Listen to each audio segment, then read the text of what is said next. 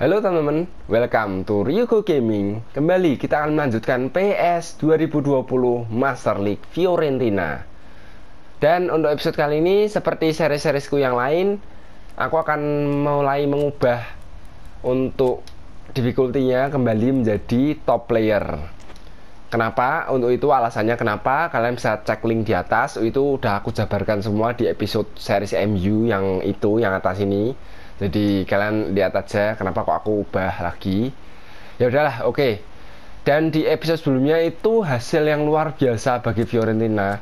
Jadi memang penampilan dari Fiorentina ini tuh masih kayak angin-anginan ya. Jadi kayak terkadang tuh mereka buruk. Tapi terkadang mereka bagus luar biasa. Dan ini nggak diduga sih. Kita kemenangan atas Inter 1-0 itu di luar dugaan. Karena kita lihat kita menang 7-1 sebelumnya lagi. Jadi kita sempat kalah dan tersingkir dari Empoli. Kemudian kita justru menang 1-7 atas Pescara. Tapi kemudian setelah itu kita langsung kalah 0-2 dari Atalanta, padahal kita main di kandang sendiri. Dan kemudian seri melawan Lazio. Tapi malah kita kemudian malah menang atas Inter 1-0 di sini. Dan untuk papan klasemen kita masih mempertahankan di peringkat kedua. Poin kita sama dengan Napoli, tapi kita jarak kita dengan Milan semakin menjauh terpaut 4 poin saat ini. Dan di episode kali ini kita akan melawan sang pemuncak klasemen AC Milan. Jadi sebuah big match dan kita harus bertandang ke San Siro.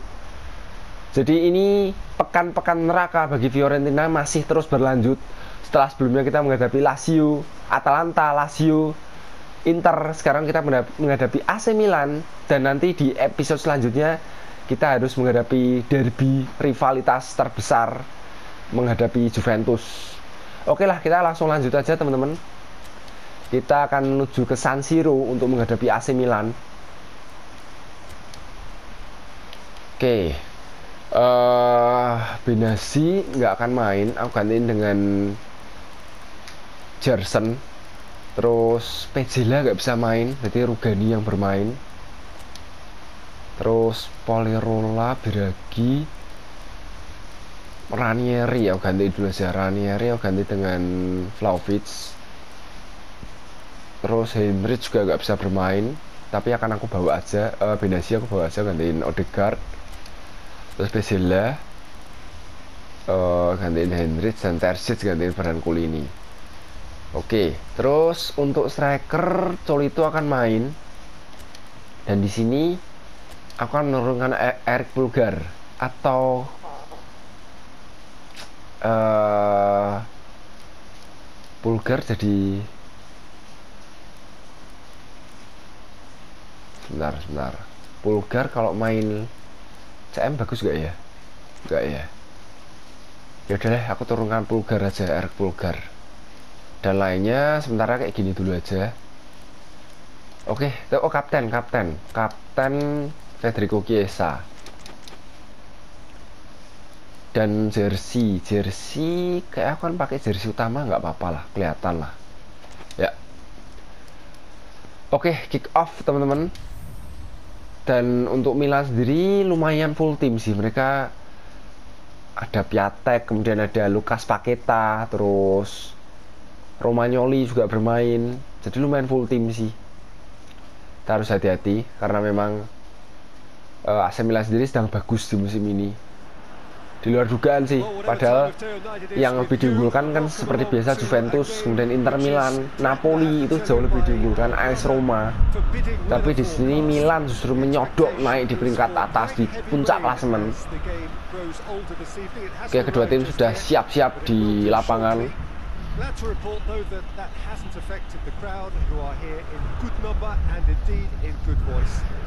Oke, babak pertama teman-teman dari San Siro, AC Milan menghadapi Fiorentina dan ini juga sekaligus menjadi laga balas dendam bagi kita karena kita di putaran pertama kita kalah dari Milan. Pelanggaran sih, enggak, enggak pelanggaran. Kita waktu itu kalah 1-0. Aku lupa gol tunggal dari siapa sih waktu itu.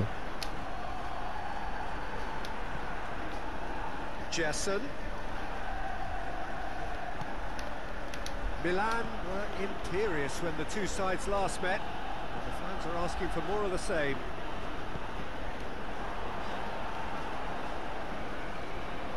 Nekuru. Salah umpan. Onyekuru needed to come up with a better ball. Bagus ah, Rukani. To make it through the defense. It'll be noted and, and improved upon, I'm sure.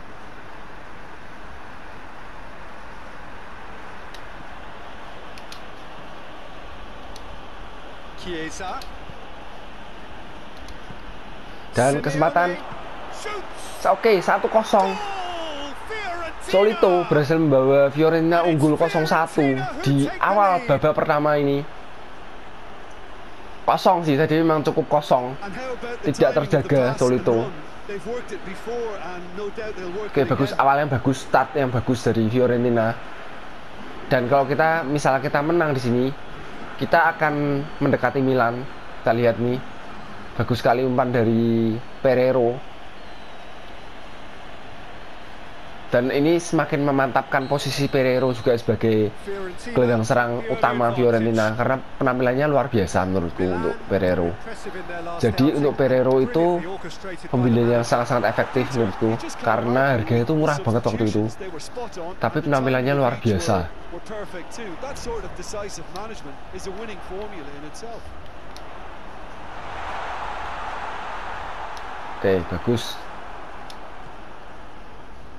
Chance to break. Pereiro It's got through to him.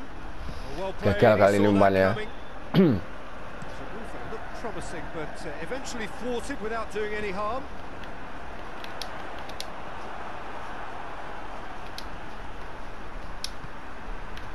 Hardly anything between the sides. And it's 1-0. Here it comes. Simeone. They've got it back as soon as they gave it away. Jessen.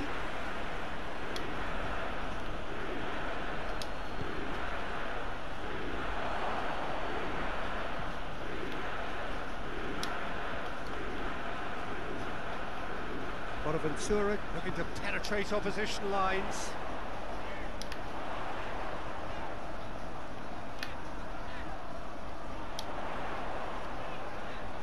Oke bagus Rugani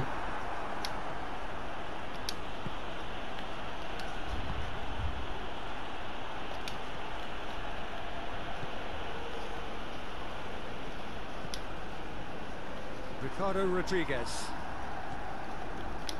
Musacchio. Piontek looks to get on the end of this. so ini Fiorentina cukup mendominasi pertandingan. Dan offside. Ya offside dari Simeone. Awal babak pertama ini bagus penampilan dari Fiorentina. Meskipun mereka beberapa kali diserang oleh Milan tapi pertahanan mereka cukup solid. Kita lihat serangan Milan selalu terhenti Onyekuru Looking to get within range. pelanggaran sih Yeah, he's fouled him there. Reina gets it upfield. And the assistant referee rightly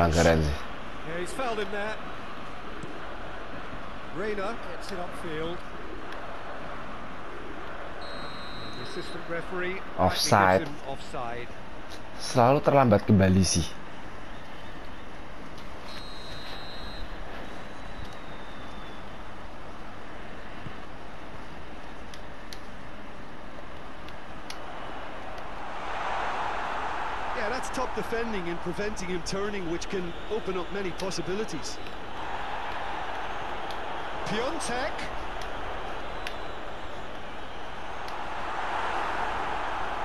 He gets past. He's gone for it. oke peluang pertama tadi dari AC Milan dan masih bisa diblok tendangannya tadi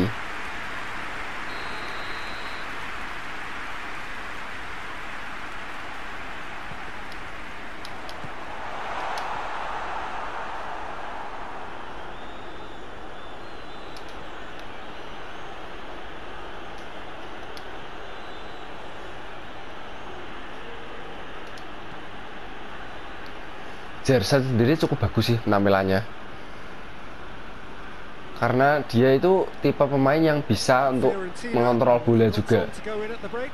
Dan itu yang nggak dimiliki oleh Benasi bagus Jersen. Kalau Benasi itu kan dia hanya sebagai kayak uh, mainnya tuh kayak siapa ya? Jadi kayak dia tuh kurang lah untuk mengontrol bola tuh nggak nggak terlalu. Untuk passing-passing skill itu kurang. Sedangkan untuk Jerson itu bisa dibilang ya dia mirip-mirip kayak posisinya Luka Modric atau Toni Kroos di Real Madrid. Jadi tipe-tipe center itu yang bisa mengontrol bola dan bisa melakukan passing-passing umpan-umpan seperti itu sih. Jadi lebih lebih efektif untuk serangan dibandingkan dengan Benasi. Kalau Benasi itu tipenya tuh menurutku kayak mirip-mirip kayak Valverde gitu kalau di Real Madrid. Jadi kayak dia itu atau seperti Kante, Pogba. Jadi tipe betul-betul tipe box to box yang uh, dia kurang ya untuk untuk passing-passingnya tuh kurang sih bukan sebagai playmaker istilah kayak gitulah. Oke, 0-1 teman-teman. Sementara ini kita unggul atas Milan di San Siro. Bagus sih hasilnya bagus dan kita juga menguasai pertandingan. Memang untuk kedua tim belum terlalu banyak serangan. Jadi serangan-serangan dari kedua tim itu selalu terhenti di sekitaran luar kotak penalti. Jadi pertahanan kedua tim masih cukup solid. Hanya saja tadi aja itu sih Solito berhasil melepaskan diri dari kawalan pemain belakang Milan sehingga bisa dimanfaatkan dengan baik juga oleh Solito.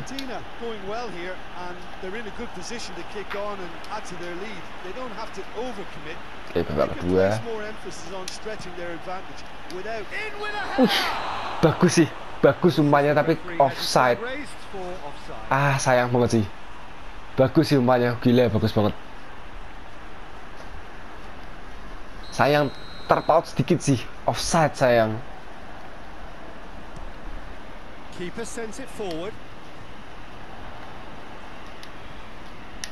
Fiorentina get it back again.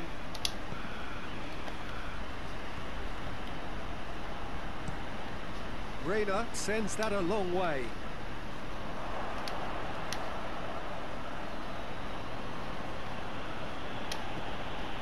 Chiesa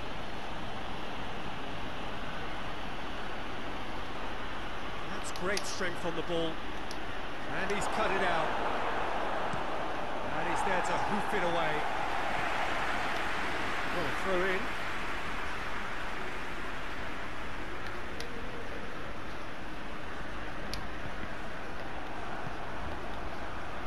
Ricardo Rodriguez. Fiorentina hung on for the three points in their last game. Positive results though, build momentum.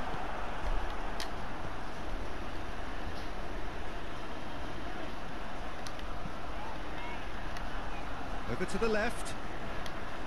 Lovely bit of skill there. And again they run up Oke, bagus. Kiesa. Serangan balik.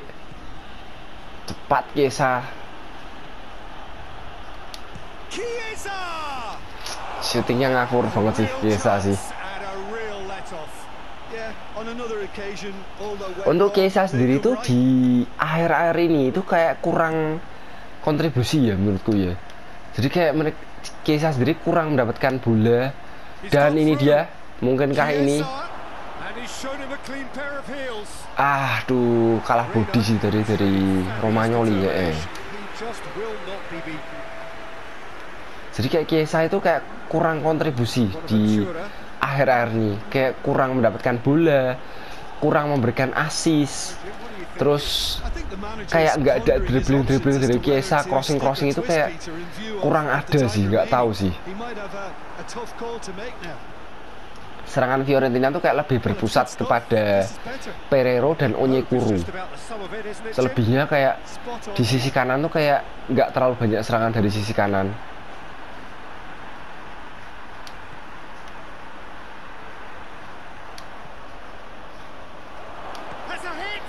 dan 2-0 Pereiro kembali Pereiro mencetak gol melalui luar kotak penalti.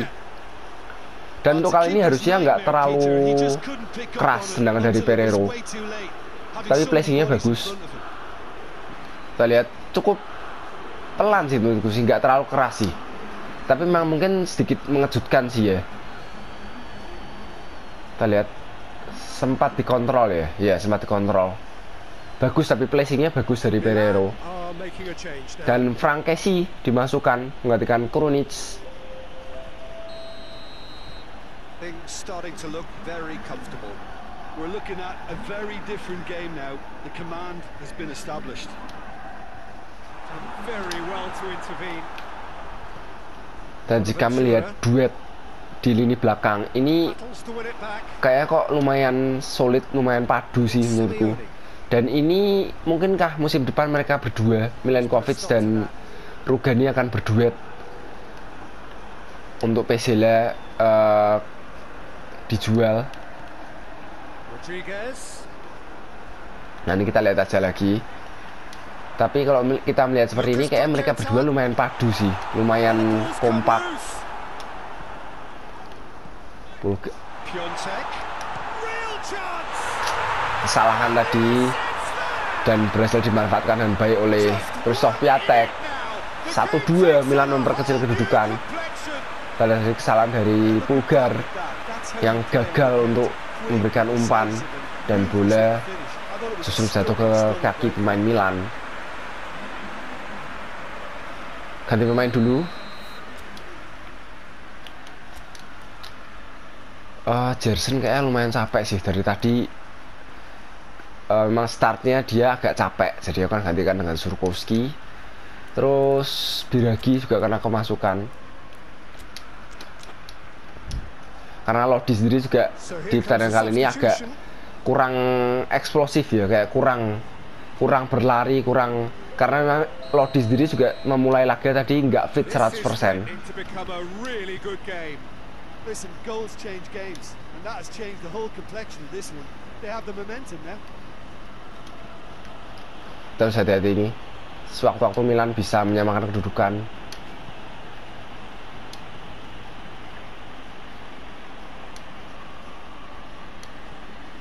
Chiesa. Lirola Corner. for a corner kick. But there's going to be another change here. Well, he's worked so hard for his side, uh, as you would expect, but couldn't help notice that he was starting to, to labour a bit, so it's no surprise. Time to deliver. Onyekuru. dan luar biasa Onyekuru berhasil menanduk bola umpan dari time. tadi Decisive strike. 3-1 dan ini seharusnya mem- meng- apa ya istilah itu kayak menghancurkan harapan. Milan untuk menyamakan kedudukan karena sekarang jadi was. 3-1 dan mereka harus mencetak dua gol dengan sisa waktu hanya 10 menit lagi luar biasa sih Onyekuru nggak terjaga oke aku akan ganti pemain satu slot tersisa aku akan mengganti Castrovili deh. Pereiro akan aku gantikan dengan Castrovili ya oke lah Bagus Pereiro. bermain luar biasa.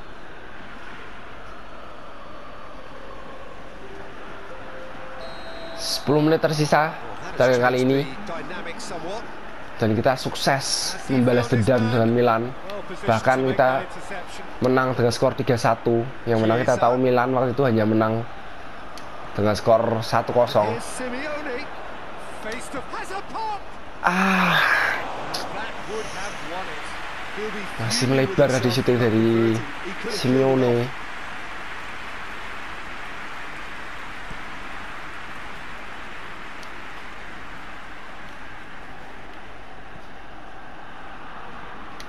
It's Bilia. Bonaventura.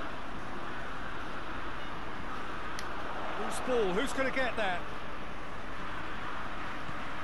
bagus Bogar A real chance to break.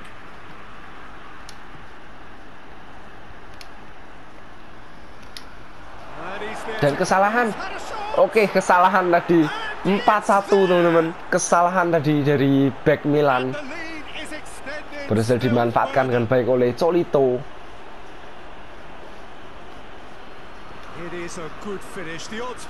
Kita lihat tadi bola seharusnya sudah berhasil diamankan oleh Romagnoli kayaknya. Tapi kelalaian dari Romagnoli dan sehingga bola kembali berhasil direbut oleh Colito. Ya ini dia. Blunder dan langsung dihukum oleh Colito 4-1 dan selesai sudah. Theo dimasukkan? Theo Hernandez.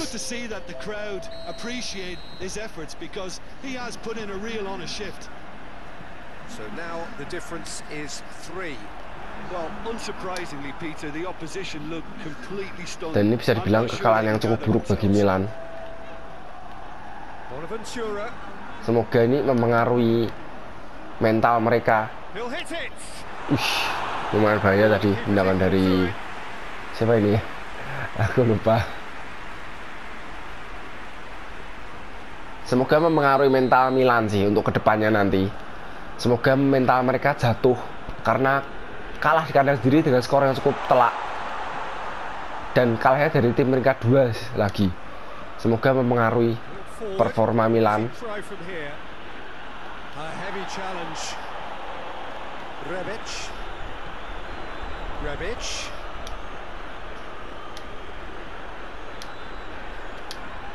Wih, kuning sip.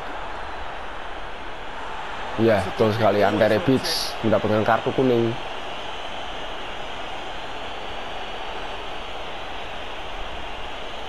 Surkowski juga bagus sebagai pemain pengganti. Oke, 1-4 teman-teman. Hasil yang kembali Fiorentina membuat kejutan. Jadi di musim ini tuh Fiorentina penuh dengan kejutan menurutku. Ya bisa kejutan yang positif, bisa kejutan yang negatif. Termasuk ini kejutan-kejutan dengan mengalahkan Inter 6-2, mengalahkan Milan 4-1. Juga kejutan mereka tersingkir dari tim seri B Empoli. Penuh dengan kejutan, tim yang penuh dengan kejutan di musim ini. Oke, kita berhasil menang 4-1 atas Milan di San Siro dan kita juga menguasai pertandingan. Bagus sih untuk pertandingan kali ini Fiorentina bermain luar biasa. Solito main bagus. Kemudian Chiesa tapi agak kurang. Chiesa agak kurang. Lebih condong Pereiro dan Onyekuro itu bermain bagus. Dan hasil yang lain teman-teman, Lazio kalah dari Sassuolo, Inter menang, Juventus menang atas Roma, dan Napoli juga menang. Dan belum berubah di papan klasemen. Dan sekarang sudah semakin seru karena persaingan antara Milan, Fiorentina, dan Napoli itu betul-betul ketat. Hanya selisih satu poin aja. Dan di zona degradasi, Frosinone, Benevento, dan Pescara. Oke.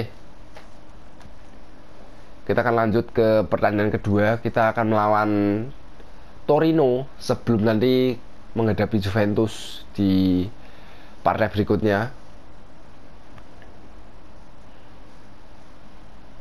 Dan ini derby rematch. Itu pasti akan menjadi partai yang berat melawan Juventus karena kita tahu di putaran pertama kemarin itu kita memang berhasil menang sih atas Juventus.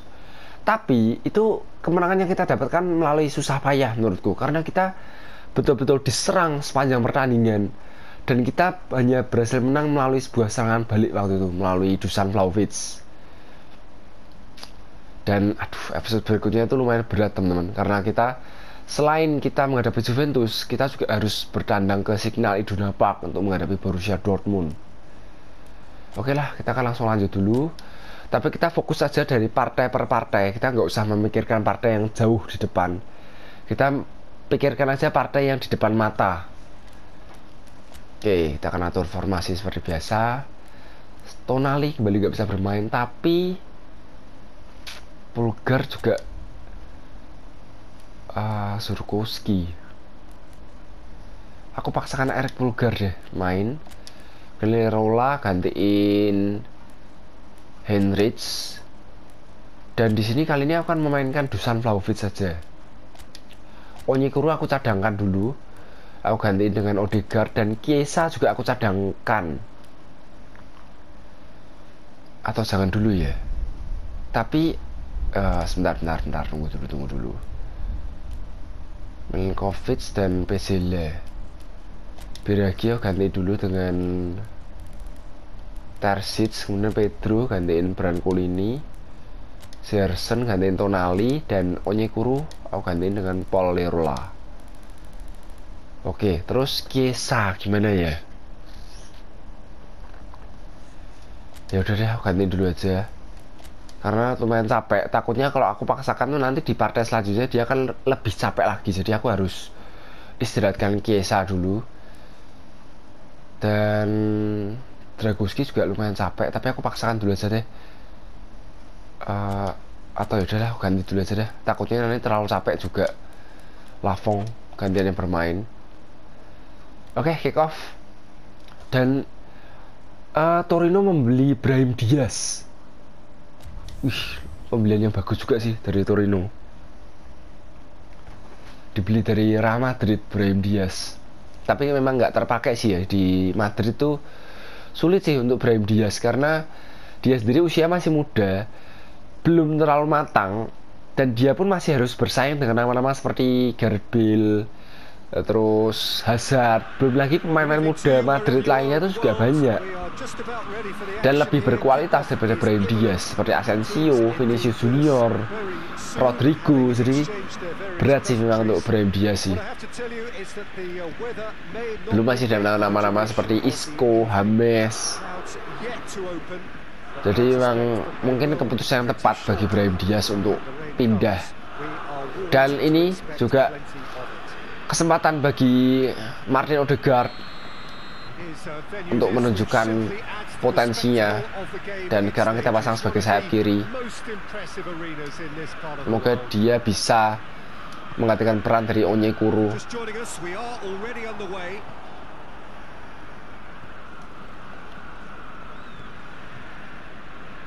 And it's played forward.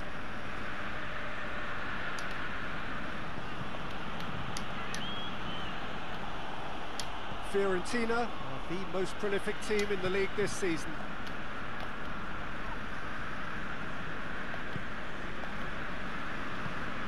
Fiorentina were imperious when the two sides last met. And the fans are asking for more of the same. Out to the left it goes. Brahim Diaz. Dia tadi Brahim Diaz.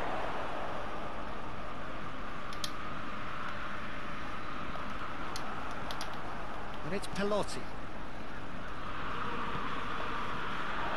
Belotti. And through to the goalkeeper.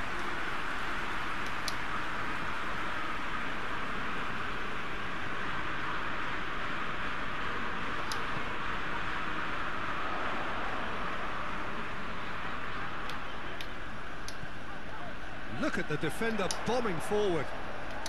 Perez masih melambung tadi dari, dari Charles Perez.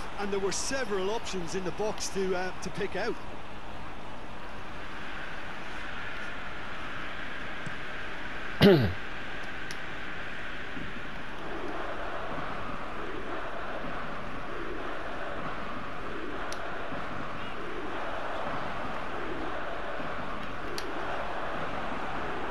Dan masih Odegaard. Pereiro. Keras, luar biasa keras banget sih tendangan dari Pereiro.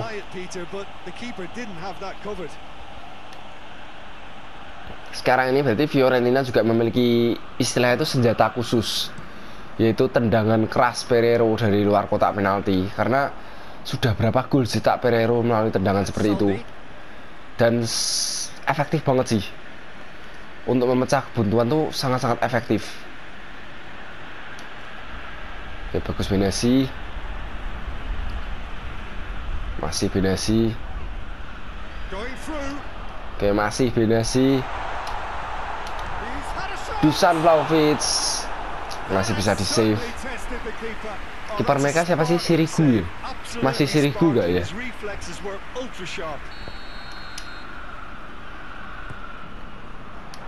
Tries to get it clear. Real chance. Ah Odegaard masih terlalu lemah pelannya ah, tendangannya masih terlalu lemah.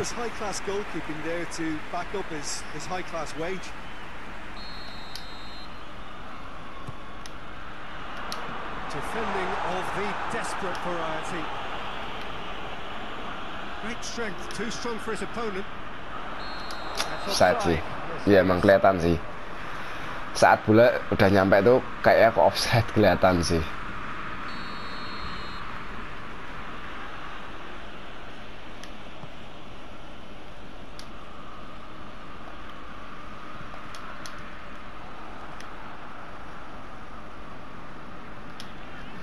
Sejauh ini Fiorentina sih berhasil menguasai pertandingan dan membuat cukup banyak peluang, tapi penampilan kiper mereka kok bagus. So a third of the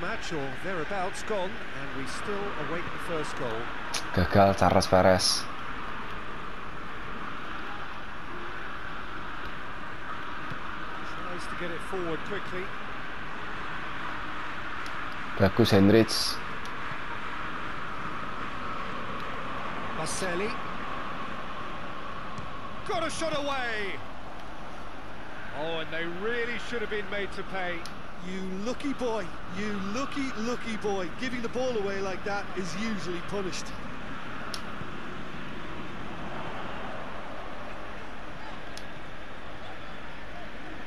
Rodi. A really good feet from him. It's a loose ball.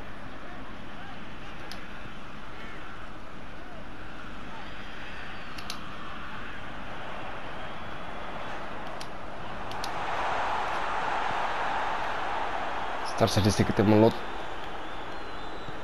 They've got it back as soon as they gave it away. Hoists it forward. Still a little short of forward momentum, lacking thrust.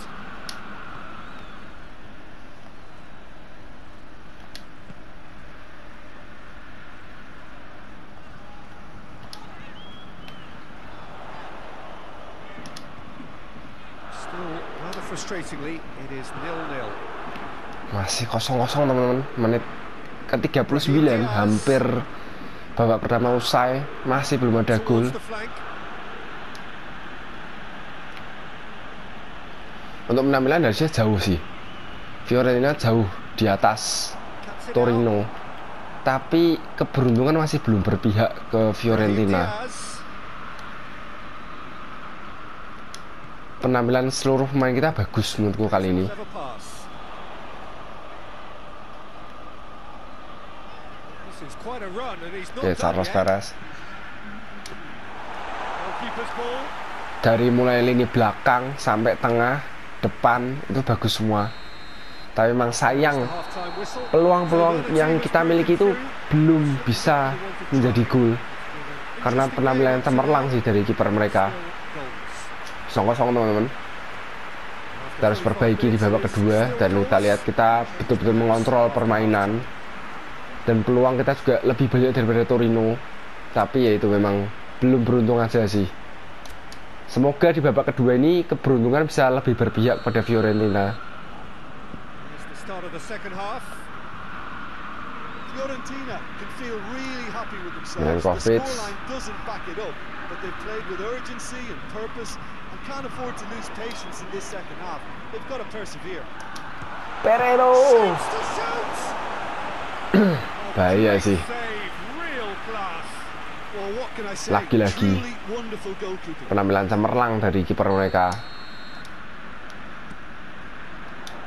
And it's hoisted clear.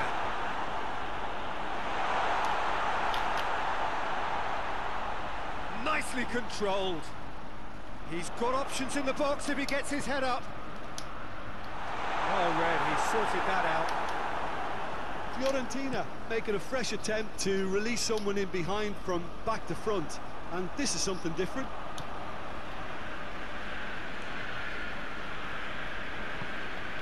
Brahim Diaz. Torino come into this match following a triumph for the boss last time. Yeah, his hand was forced somewhat, Peter, because of the circumstances. He had to bring on goal scorers, but he was bold in going for broke to get what he wanted. Sayang tadi nggak sampai ke Charles Perez tadi umpannya.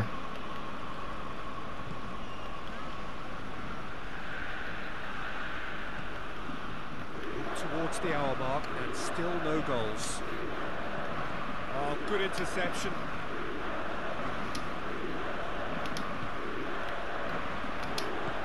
Untuk Odegaard sendiri menurutku memang lebih efektif main di sayap.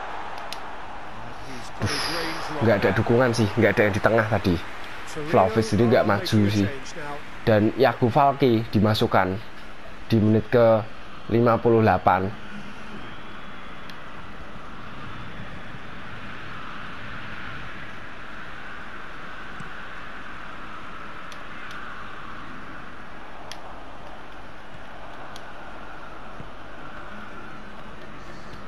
Forward it goes.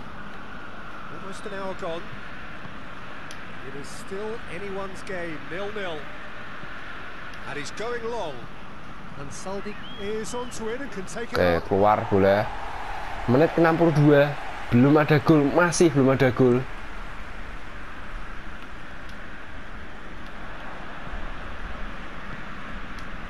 And Saldi. Brahim Diaz.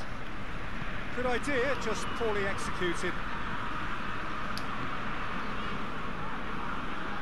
Oke, Saras Perez. Run he's making on the right.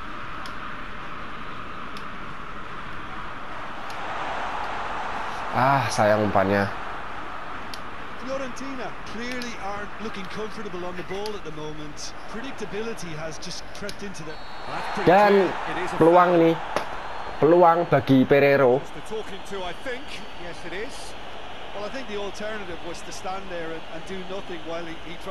Di jarak yang bisa bilang cukup dekat, ini peluang bagi Pereiro.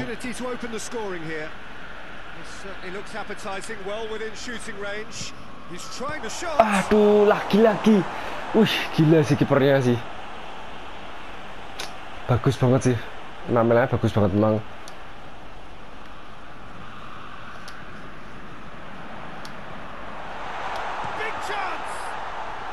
Masih bisa diblok. A heavy challenge. Hei, hei. Bukan pelanggaran. just very well played. He can't hurt you with his back to goal, and he didn't go for the back heel.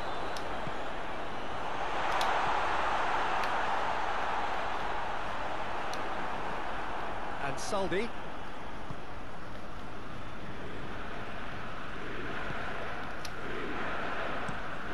Across the field it goes. Iago Falque plays it forward.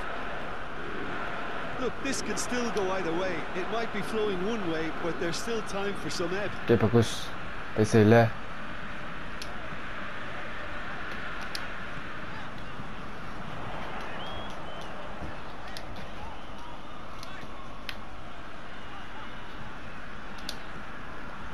One.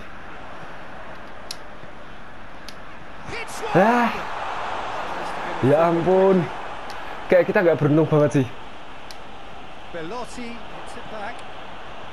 Sama sekali nggak beruntung. Udah kayak gitu.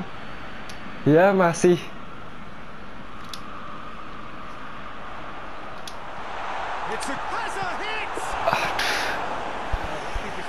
Wah, gila banget sih. Gila banget. kiper mereka ba- bagus dan kita juga nggak beruntung sih. Aku akan coba nganu deh, lebih menyerang deh. Aduh, Pereiro udah capek lagi. eh Benasi deh. Benasi akan aku ganti dengan Pedro.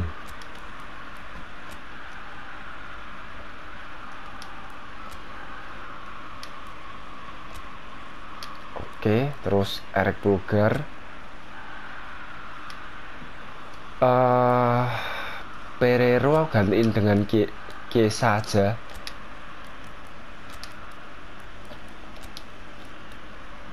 Dan Vlahovic akan aku ganti dengan Simeone.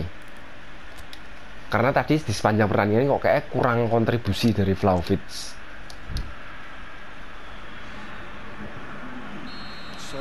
Oke, those corner. Odegaard aja.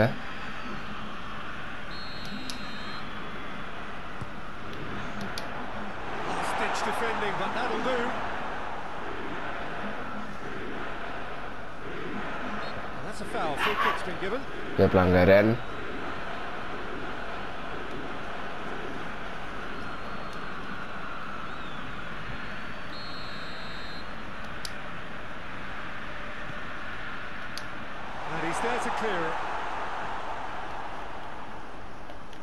Gimana sih? Concentration levels are very good and so is the commitment. This game could yet yield a winner.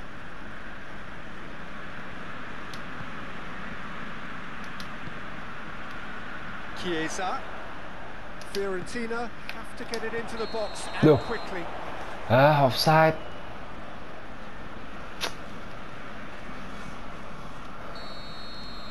Man of the match kayak kiper mereka sih. Siapa sih? Savic.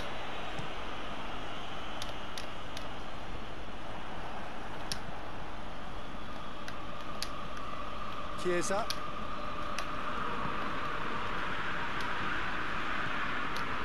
And it's Iago Falque. He goes long, cut out in the nick of time. Oke, sa. Well, they're supposed to be chasing a goal, and yet there's no urgency Dan- or sense of awareness. They've got to wake up. Oke, masih ada peluang. Turns and goes back. He's shot a goal! Akhirnya, akhirnya, ini gol yang ditunggu-tunggu. Colito di menit ke-93. What a great finish, but how about the touch? Luar It just biasa sih, tapi luar biasa penampilan kiper mereka. Gol yang ditunggu-tunggu akhirnya datang juga di menit ke-93 dan ini mungkin Tepat di akhir pertandingan. Effect. dari Charles Perez. Berikan pada Kiesa, Kiesa berikan pada Colito dan Colito langsung shot sontek. Dan kali ini tidak bisa dihalau oleh Savic aku jadi penasaran sih Savic siapa sih? Bagus banget sih mainnya. Tapi walaupun kebobolan menurutku. Penampilan Savic bagus sih. Bagus harusnya dia mendapatkan nilai 7 atau tujuh setengah menurutku karena jika nggak ada Savic itu mungkin. Torino udah kalah mungkin 3-0 seenggak-enggaknya menurutku But in the end, it was great. Well, this Bagus sih tapi penampilan Savic luar biasa. kita lihat 10 loh kita 10 kali shot 6 on target tapi yang masuk hanya satu hanya 6 penampilan Savic harusnya enggak menurutku seenggak-enggaknya 7 harusnya 7 sih dan pastinya memang sebenarnya Solito Very good. Iya, betul sekali. Ah, oke lah, akhirnya kita selamat dari hasil seri. Dan Milan juga kembali kalah ya. Semoga itu memang Milan seperti mentalnya jatuh.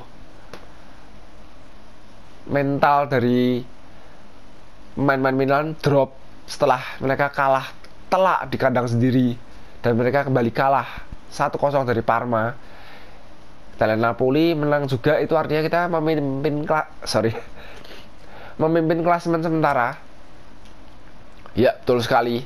Tapi kembali lagi jaraknya nggak terlalu jauh masih terpaut dua poin dari Milan dan untuk Napoli kita sama poinnya. Jadi persaingan untuk menuju Scudetto masih sangat-sangat terbuka lebar. Dan ini sudah berapa pertandingan ya? 1927 ya masih lumayan jauh sih masih 11 pertandingan. Jadi apa pun masih bisa terjadi apalagi habis ini kita harus menghadapi Juventus. Dan Fiorentina sendiri pun nanti menjelang akhir itu tuh pastinya semakin krusial semakin padat jadwalnya. Jadinya jangan sampai kita kehabisan bensin sih di akhir-akhir kompetisi nantinya. Oke ada konferensi pers you must be happy with your form going into the derby what's going to be your approach. Jadi kita tuh sedang berada dalam tren positif menjelang pertandingan melawan Juventus. Kira-kira apa yang akan kita lakukan yang akan kita persiapkan untuk menghadapi derby melawan Juventus?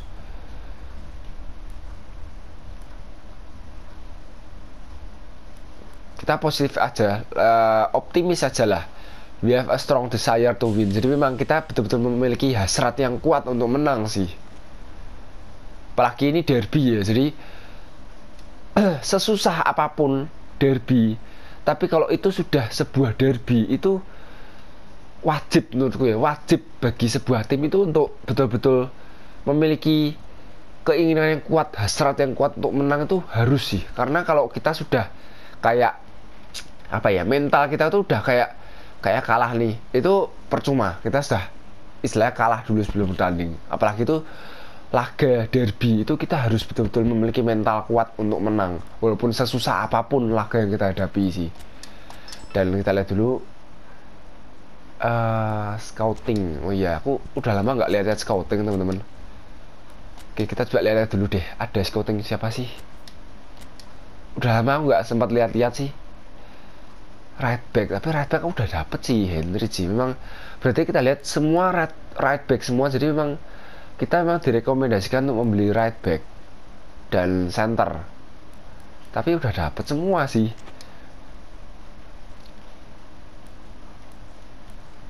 Ya oke okay lah. Dan ini Onas Tiago Maya Oke lah nanti aja kita masih cukup jauh dari bursa transfer dan nanti kita belum memikirkan bursa transfer dulu. Ya udah teman-teman segitu dulu aja untuk video kali ini untuk episode kali ini dan nantikan episode selanjutnya nanti hari apa berarti? Kamis, Kamis, hari Kamis. Karena akan seru, kita akan menghadapi derby, menghadapi Juventus dan laga leg pertama babak 16 besar ya kayak ya. UCL. Kita akan bertandang, dua kali kita bertandang. Kita akan menghadapi Dortmund. Oke, yaudah segitu dulu untuk video kali ini. Jangan lupa untuk tekan tombol subscribe, like, komen di bawah, dan share ke teman-teman kalian. Thank you for watching and see you in the next video. Bye-bye.